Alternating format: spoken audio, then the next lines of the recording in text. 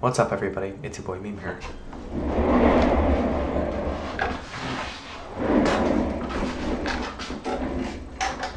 I'll know why I didn't just stand up. Here it is. Right where it says A.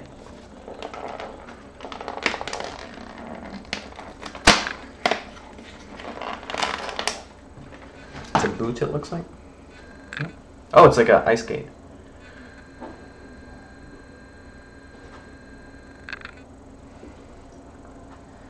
I- I'm a crazy person. I don't know why I'm doing this.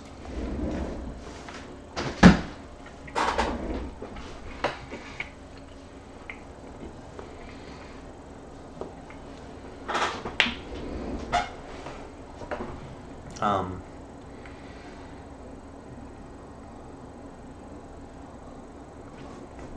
Uh, here's something weird.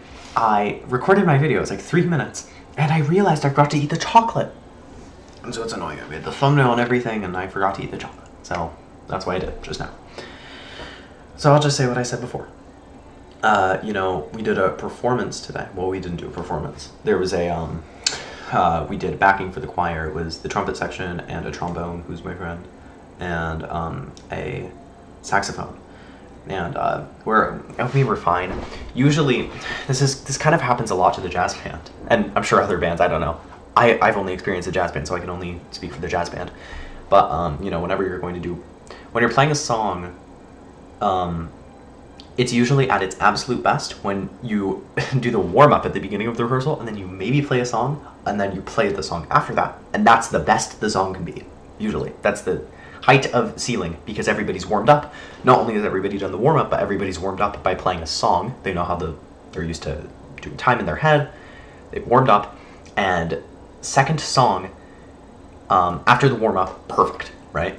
Um, but you know, usually when you're doing a performance, you have to sit backstage for a while, and you have to wait because and you can't warm up, and you can't do anything because it's way too loud, uh, because of other people are probably performing, and that's the case. Then we weren't able to fully warm up, and we didn't do as well as we could have. Uh, we were just okay, and of course, it's gonna be mixed to where the horns are quieter than the choir. Of course, we were louder than the choir because we're horns, but it's gonna be a recording, and it wasn't live, so.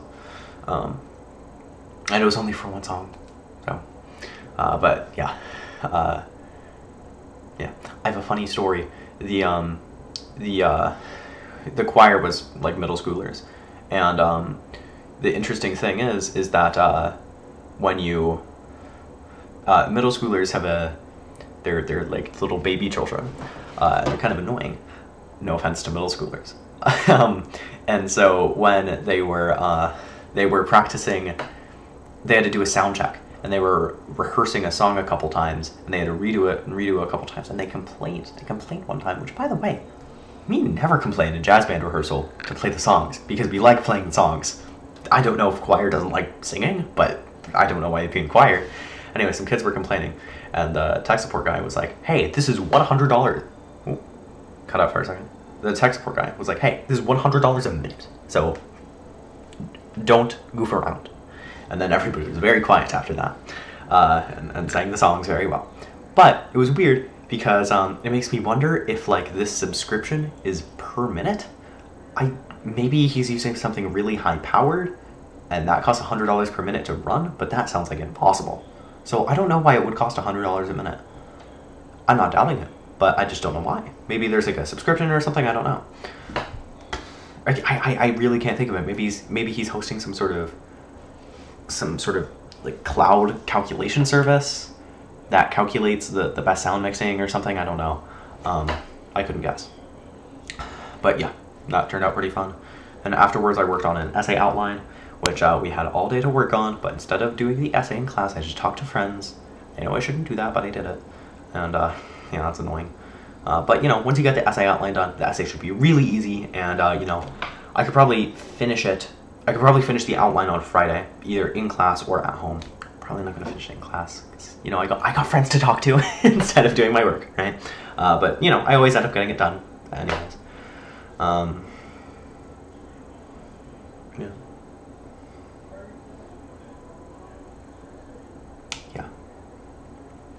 For breakfast, I had a cheese bagel and uh, kind of a parfait type thing and tea. For lunch, I had pasta salad, and for dinner, we had pizza. Uh, best pizza in the world. And before you walk up to me and are like, "Ooh, uh, Leo, could I have a slice of your pizza, like leftover pizza during lunch?" Um, because I'm gonna have leftover pizza for lunch. Um, keep in mind the pizza is great, but it's not absolutely phenomenal because the pizza isn't made to for to be left over. Like Pizza Hut pizza or Zeke's pizza, it's made to be eaten fresh. And if you make pizza that's only made to be eaten fresh and then you eat it left over, of course it's gonna be good because good food hot is good food cold. But it's not made to be really good forever. And so, you know, it's slightly worse when it's cold. That's fine. It's still very tasty. But you aren't getting the full experience unless it's fresh from the oven. Keep that in mind. Also, please don't walk up to me and ask for my food. It's weird. Yeah, what's what's up with that? I don't get that. Uh, yeah. All right. See you, dude.